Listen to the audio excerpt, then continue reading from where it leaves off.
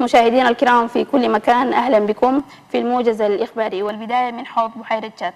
فتح الوكيل الدائم للجنة حوض بحيرة تشاد محمد جدة محمد جدة. جمع أمس أعمال الورشة أعمال الورشة التقييمية لكيفية استخدام مياه البحيرة والاستفادة منها. المناسبة جرت بمقر الخلية الدائمة. عباس بكر مصطفى يفصل لنا في التقرير التالي.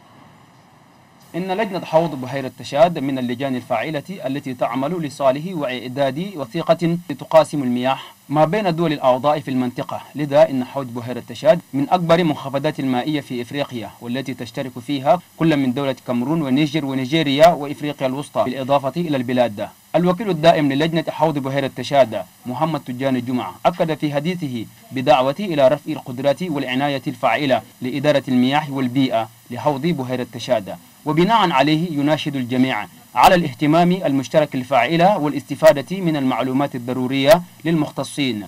إن هذه الدول قد قامت بتوقيع اتفاقية بوثيقة اعتمدتها هذه الدول الأعضاء منذ التاريخ الثاني والعشرون من مايو لعام 1964 بعاصمة تشادية فورت لامي آنذاك وخلال هذه الحقبة التاريخية لم يصدر أي وثيقة توهي باستخدام المياه والاستفادة منه.